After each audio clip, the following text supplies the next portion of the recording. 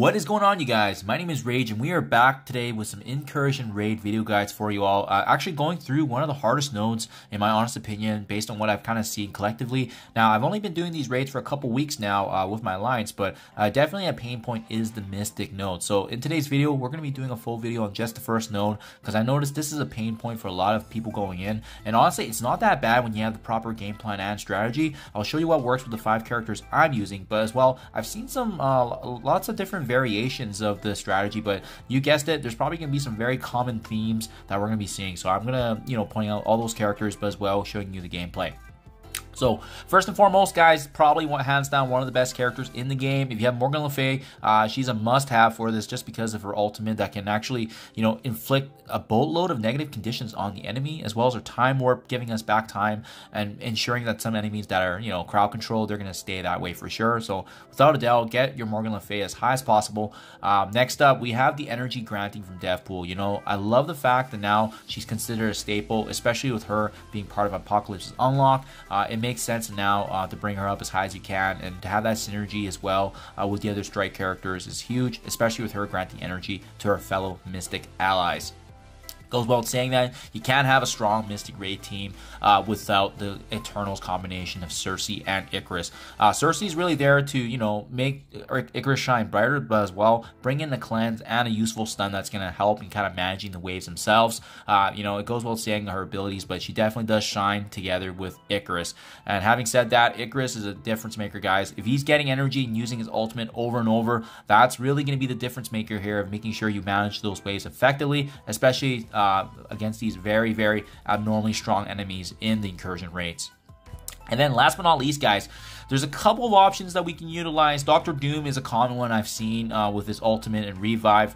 Uh, excuse me, not revive, his ultimate in giving more turn meter and then doing a devastating ability. But personally, I did not use him, but I've seen him as an option. I've also seen Spider Weaver as an option as well with her ultimate to essentially be able to reduce damage. But she's really important in the second node, so I do like to save on her. Uh, no, guys, instead, my option is actually going to be uh, sorry, scrolling down here, Dormammu. Um, and why you ask, uh, I know a lot of players are going to be, you know, saying that he's not a great option and so forth, but I want to showcase for you guys in my video how he's useful because of the fact that he does have value even outside of his revive, um, that which is completely vetoed in these nodes. Uh, however, he has a strong heal and as well a useful stun that's for crowd controlling aspects. So let me show you guys the gameplay. I think uh, he can be a huge difference maker, but there's going to be some multiple options. Do what works best for your roster. In total, I think my uh, total combat power ended up being 1 million, and as well for your guys' reference, uh, this was a difficulty 1.2 attempt. So that said, let, let's get right into it, guys.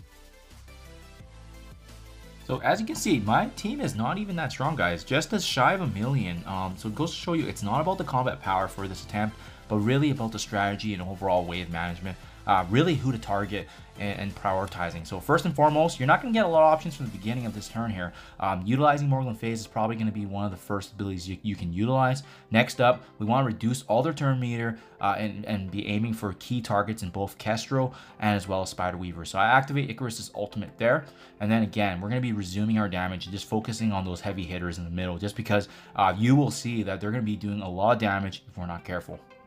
Next up, when you do get Deathpool's turn here, uh, if you if there's a character that you can use bleeds on, I do like to split, spread bleeds, but as well, you could have done the same for any ability blocks to kind of prevent them from obviously going. Uh, and next up with Dormammu, this is kind of like why I like using him on here because of his useful stun. Uh, he can actually buy us some time in stopping those characters from actually utilizing a turn, uh, and also gives us a chance now to focus on that right side uh, and focusing on them.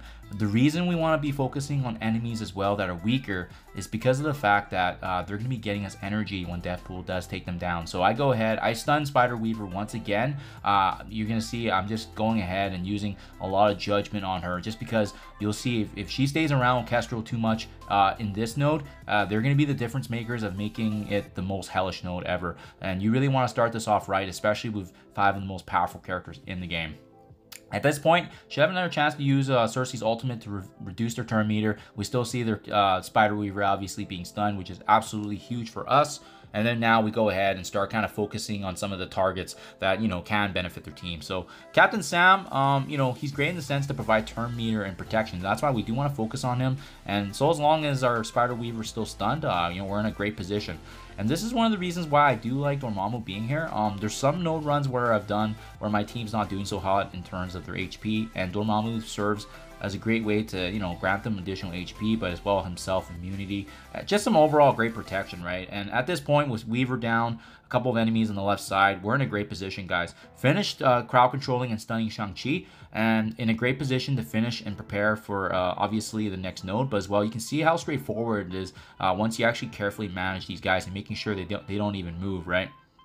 And I know some players opt to take down, um, you know, Ghost Rider, uh, so that way you can't do the passive attacks. But you may not get that choice with Bishop here spawning, right? So that's the one thing to be mindful of. Uh, when, when you are able to, um, I do recommend if you're able to control uh, a Ghost Rider or at least kind of stall him and slow him down with a stun, then he can't do the passive attacks. But another one we do have to focus then is making sure uh, Deathpool and Kestrel are also kind of controlled. So take a look at the return meter. Uh, obviously, it's going to be differing from attempt to attempt, but uh, managing those two is big because of the fact that they have strong abilities and as well, uh, you don't want to leave Deathpool um, too strong on the enemy side because if there's multiple attempts involved, she may gain charges, and her gaining charges could be very, very dangerous with her instant one kill uh, shot. So be mindful of that, guys.